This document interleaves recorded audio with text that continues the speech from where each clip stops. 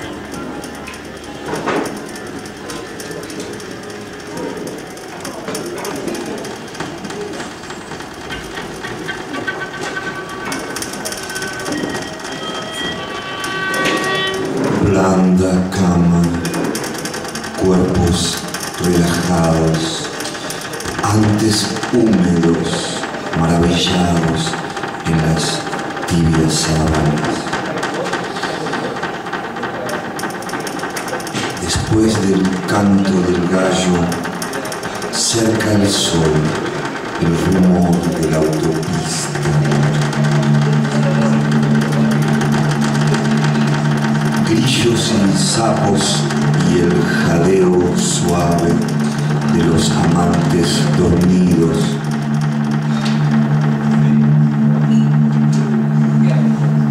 Ya la tormenta de primavera se escapa.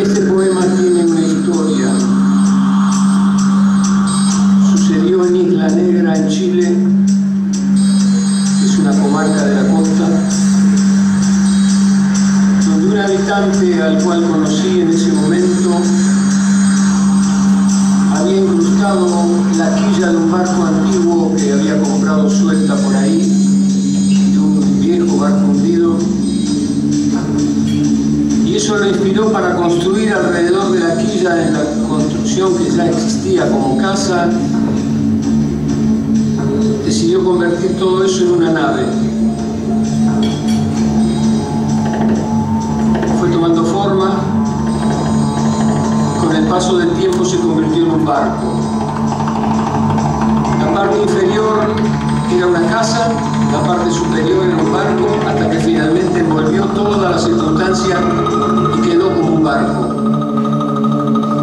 Todo era muy bonito y original hasta que los vecinos comenzaron a protestar.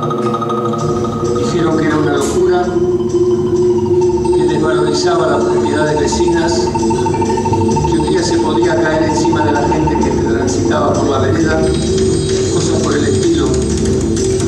Organizó una gran campaña en contra de la nave. Desesperado el dueño de casa o el dueño de nave, escribió a todos sus amigos del mundo pidiendo mensajes de solidaridad para demostrar que eso era importante para mucha más gente más allá de los que vivían en la casa. Tuve la oportunidad de visitar la nave y le mandé un poema que es lo que comparto ahora. La isla negra de los visionarios.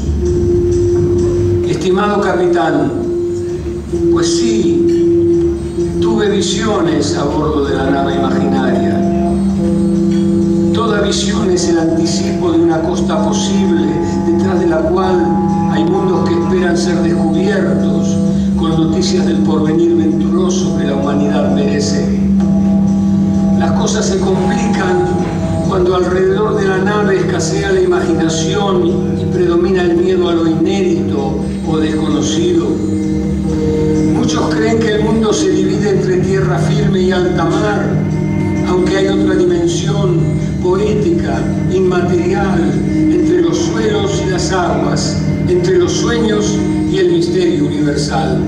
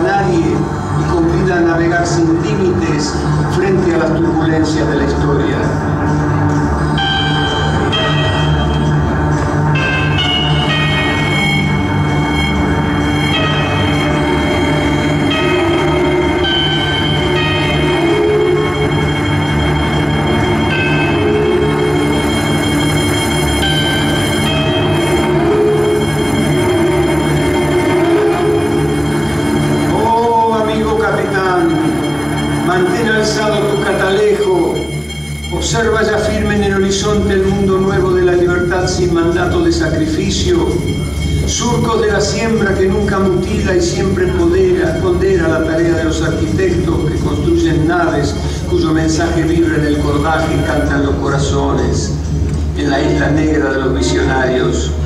Te saludo mientras las estrellas murmuran himnos, constelaciones y advenimientos. Salve, salve, nave imaginaria entre los oleajes que desconocen la cómica algarabía del mundo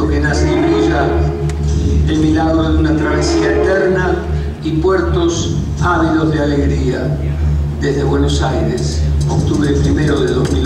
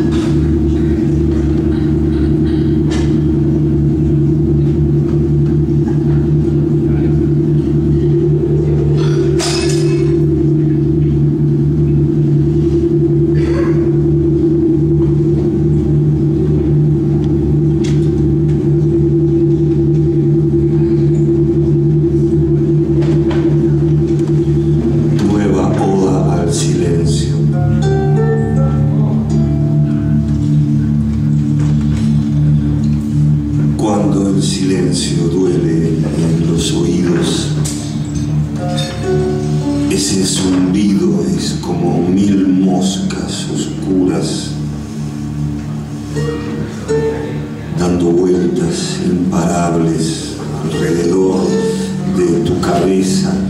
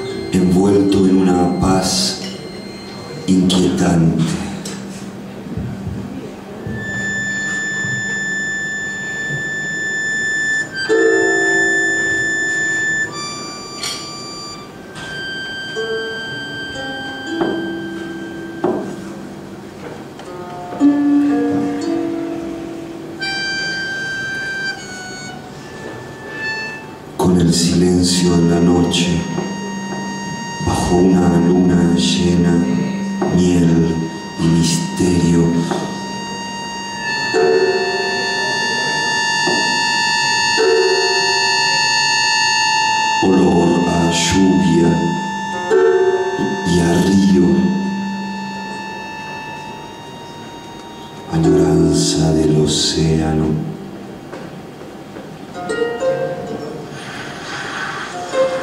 caminos invisibles en el mar.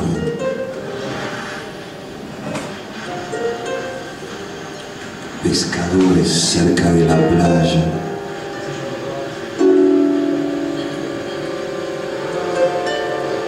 Pleamar en las venas, movimiento,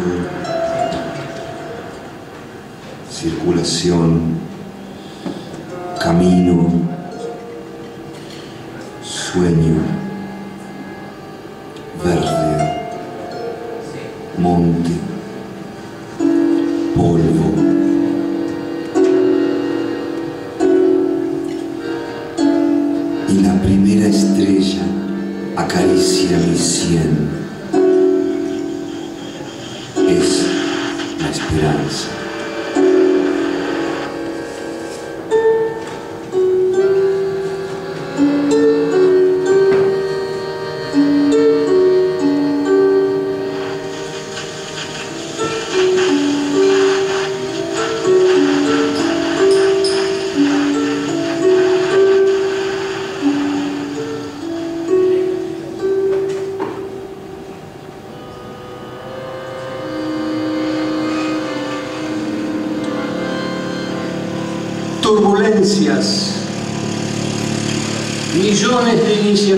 potenciales, millones de ideas transformadoras, millones de posibilidades latentes, millones de creaciones irreversibles, millones de siembras reveladoras. Todo eso y mucho más queda flotando en ninguna parte, porque no avanzamos hacia su expansiva consumación. Pasamos el tiempo esperando que algún nuevo sol asome. Aplicamos nuestras energías a abordar historias nostálgicas. Guardamos nuestra imaginación en el freezer de las utopías.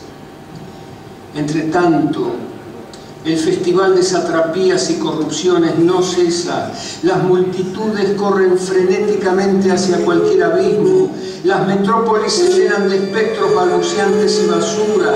El aire y los grandes mares se vuelven cada hora más tóxicos.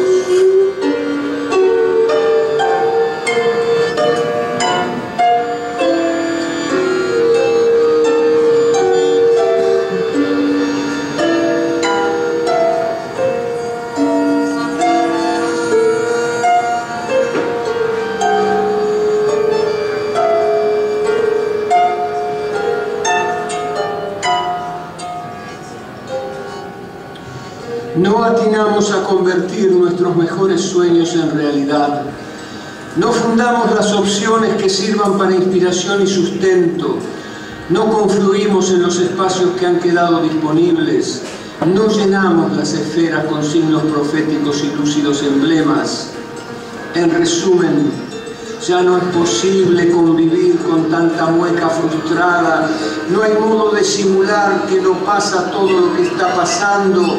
No tenemos justificativo para la pasividad y el ritual del desencanto. La hora ha llegado. Sepamos brillar y cultivar sin pausa las opciones antes de que el planeta nos devore impasible con su lengua de fuego y antes que las aguas avancen irrefrenables hacia las podridas torres.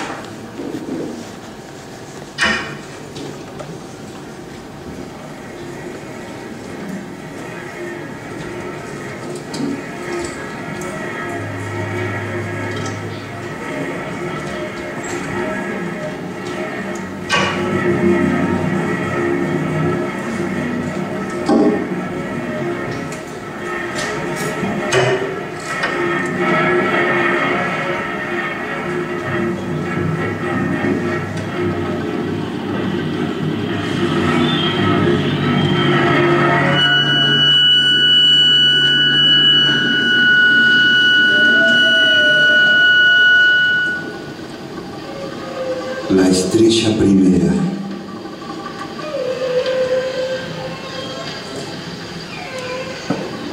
Dulce amanecer de mi alma,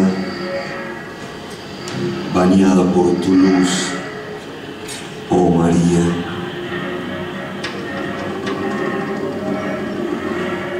No hay fuerza humana o extraterrestre que pueda oscurecer tu amor.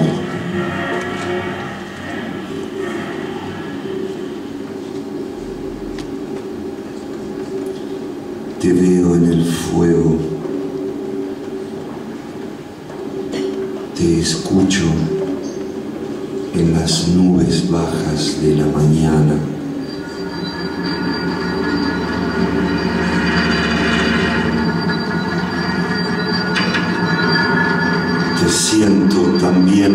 Adentro mío.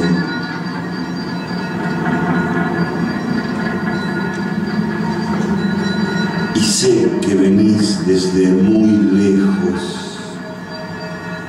Madre de la estrella primera, del silencio brillante,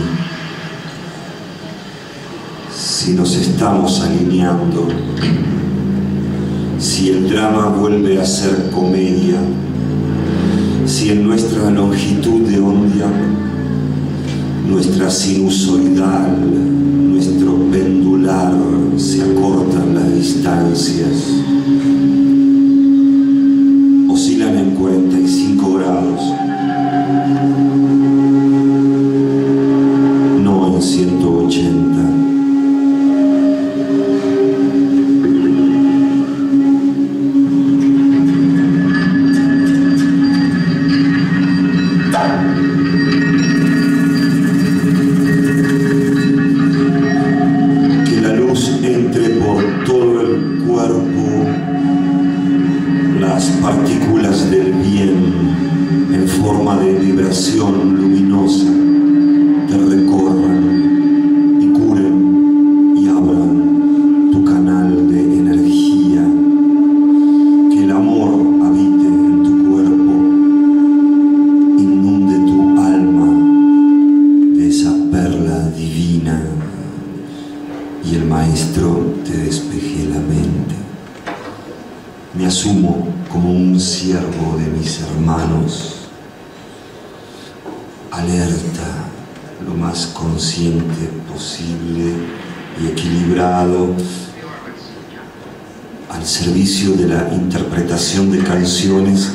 frescura.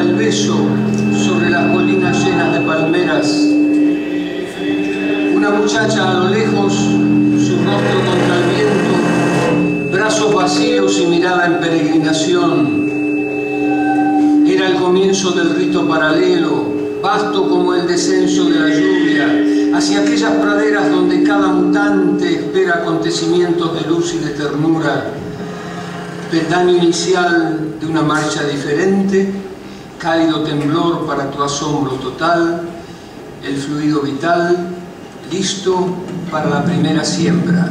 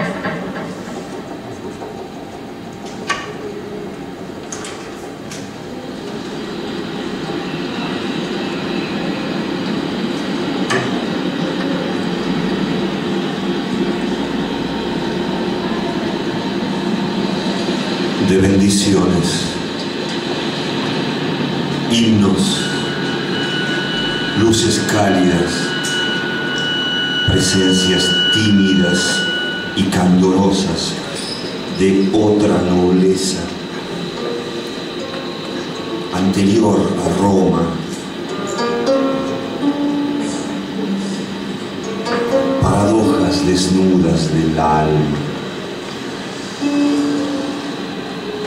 de Miguel Ángel, el que no copió, el suplicante entre las flores,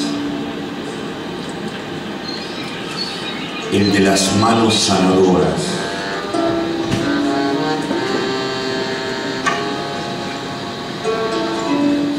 aliviando la carga, descartando lastre acto en lugar y tiempo intuitivamente correctos del bien.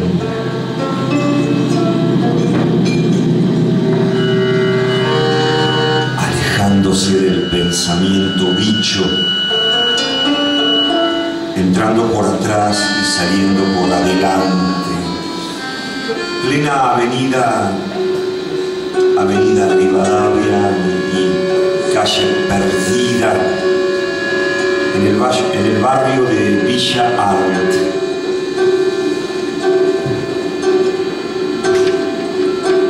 Más sueños de defunción, avisos oníricos que van fermentando en vasos comunicantes, alivio más aura brillante esparciéndose por 12 horas, más 12, más 6, más 6, más 12, más 6, más 6, más 12, más 12, más 12.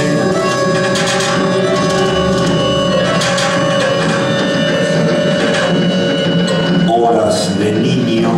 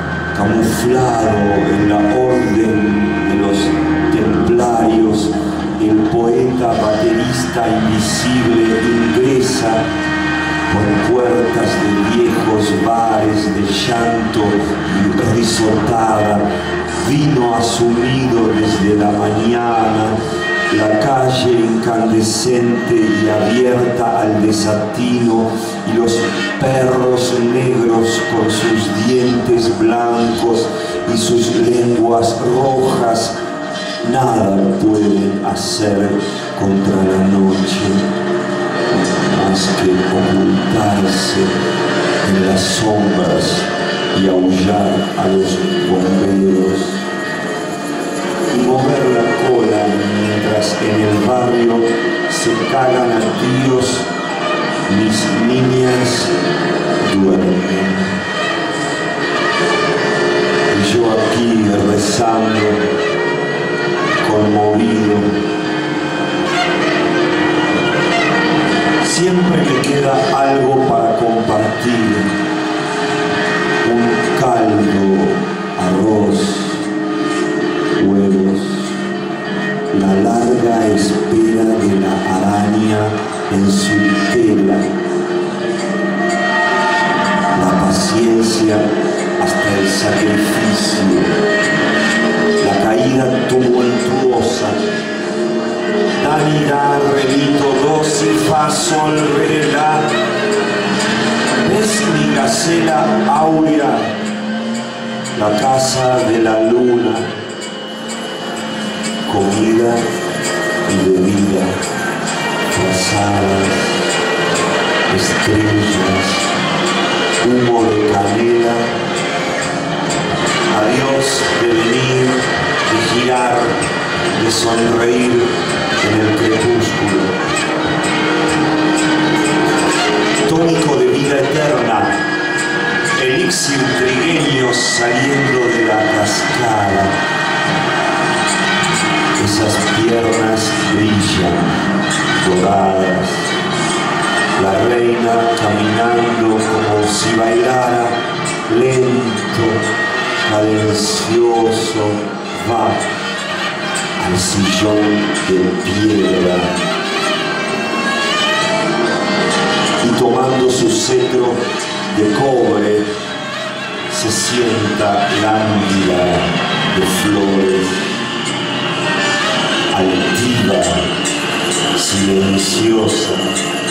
Vacía de pensamientos y da por comenzada la ceremonia.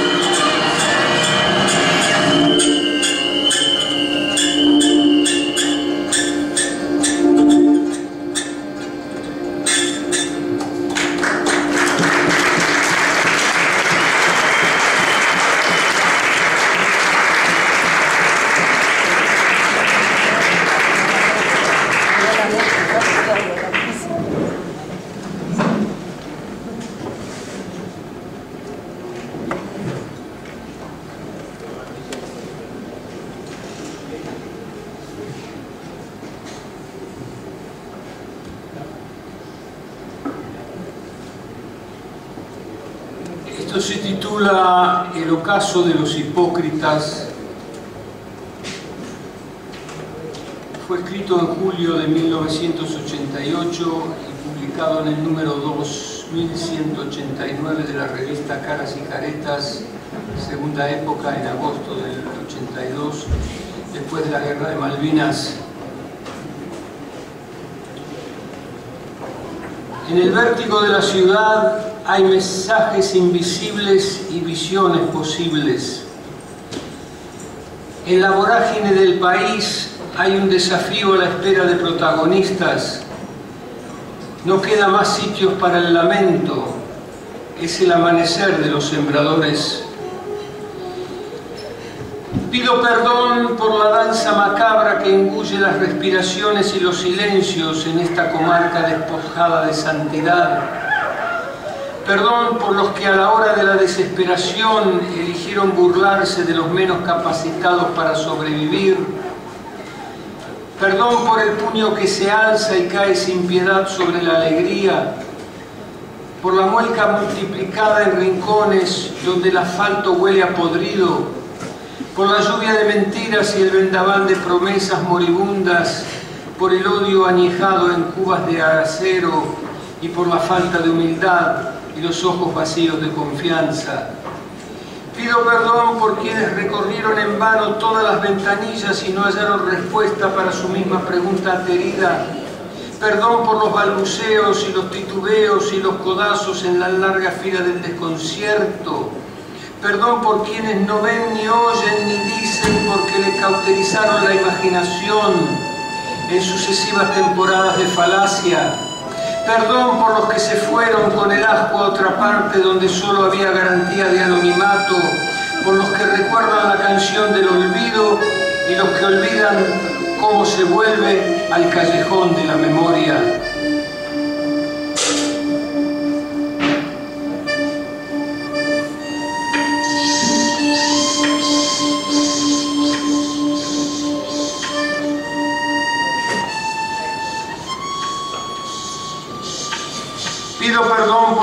Suman y restan todo el tiempo, olfateando divisas que no sirven para asegurar un lugar en el paraíso. Por esa muchacha que va por ahí vendiendo sus redondeces a buen precio, lo cual a menudo es apenas una cena. Por los niños de padres separados que vieron caerse a pedazos sus castillos en tanto un ministro anunciaba que ese invierno sería el último. Por el olor a nada, que campea desde los cuerpos apiñados en el subte, por el inocente cuya sangre regó las piedras de una isla sin árboles y llenas de soletes de oveja. Pido perdón por la guerra que pisa fuerte toda la pobre impotencia de la gente, por el viejito que hurga el tacho de basura en las puertas de mi casa, por los que abren el gas sin dejar una sola letra de despedida, por los que sueñan todavía en un mundo diferente y despiden uno a uno a sus mejores amigos. Pido perdón por la torpeza que vestida de codicia irrumpe en los salones burocráticos, por el disco rayado de Gardel y el horóscopo de los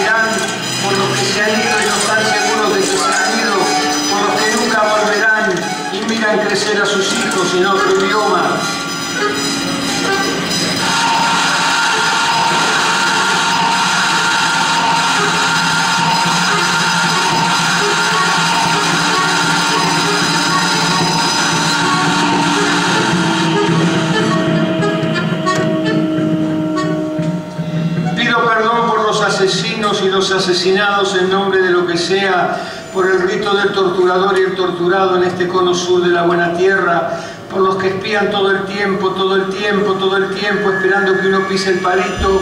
Pido perdón, sí, pido perdón por la sangre de los cuatro colimbas anónimos que quedó secándose en la esquina de Córdoba y Alem en abril de 1962, mientras en Punta Indio y Magdalena intercambiaban balas por una cuestión de colores, y muchas pegaron ahí donde no hay remedio. Esos no tendrán estatus de héroes ni medallas televisadas. Pido perdón por los que creen que mandan y solamente suscriben actas de insolvencia. Pido perdón por los istas de todo junio, esos que te salvo y perdón por nosotros aquí, ahora y en la hora de nuestra muerte. Perdón por cada cual que nos pide perdón, aunque hay páginas en su libreto cargadas de masacre. Perdón por los que desaparecieron y por los que se lavaron las manos y mucho más. Pido perdón por la violencia y los violentos y no me cuenten que siglo XX cambalache porque hace ya mucho tiempo que nos bajamos del ombú.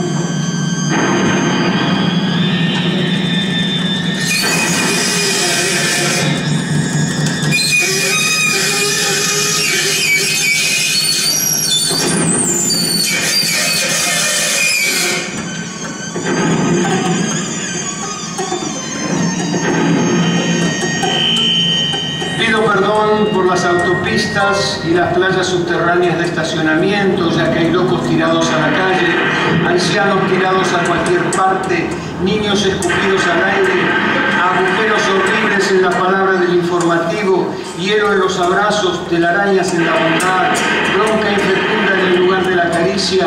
Pido perdón por los hoteles atiborrados de espectros vencidos y por la ceguera premeditada de los verificadores de la libertad.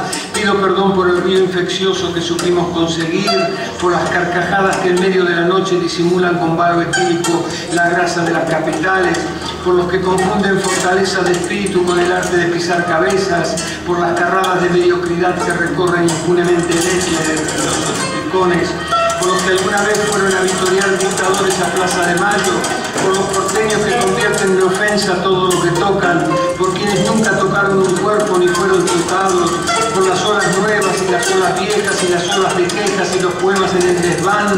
Pido perdón por los temblores y los hedores de nuestras relaciones inhumanas, por el balanceo de la heroína y la cocaína, los que agarraron sin prisa ni pausas y el chispazo de los perdedores, por la cacería desenfrenada de errores en pos de la perfección a prueba de rumbre. Pido perdón por la mujer que pide limosna en la vereda, por los que pasan rápido mirando hacia Neptuno. Pido perdón por la ilusión fugitiva a las caravanas de obsesión, por millones de ceniceros llenos y el festín del enfisema. Pido perdón por los infartos de miocardio, las úlceras y los tumores fidedignos al estilo occidental de agonía, por la mano en la lata y el dedo en el gatillo.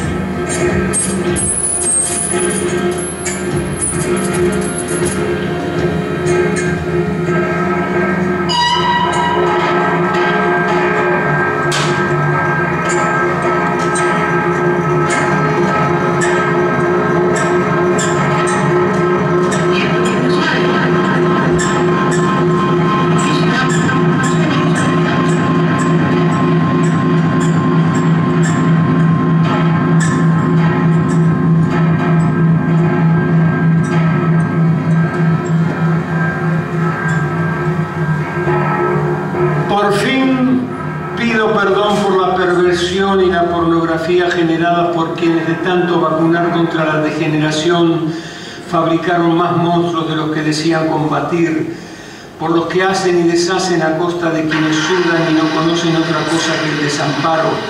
Pido perdón otra vez por el baile de los malditos y la polca de los eruditos, perdón por los charásicos traspapelados y los museos de armas, y el tiempo pasa y se te aflojan los dientes. Perdón, perdón, perdón, pido perdón, pido perdón por los hipócritas que una vez más salen a la arena del circo para el malabarismo de los panes, para la multiplicación de los planes, para la intoxicación de los canales, para la canalización de los desmanes, para el reparto del queso restante y el desdén petulante, para el quebranto militante y la gesticulación rampante. Pido perdón por el arca perdida, la guerra de las neuralgias, pido perdón por la medicina social y los analgésicos coyunturales, pido perdón por la mala sangre negociada y por los excomulgados y los acogotados, Perdón, sí, perdón por el agujero negro en los diez mandamientos. Pido perdón por el honor indexado y el valor agregado por el tanto por ciento y tu amor empantanado. Ni pago ni pego, me pago y me quedo. No pido perdón por el crío que mama, ni por la brisa del campo. Hay una plegaria del viento y una semilla brotando. Ni piden perdón, ni permiso, ni admiten espanto tienen la canción de su lado. No pidas perdón, no pidas perdón. La consigna es ser libre, el resto es lograrlo.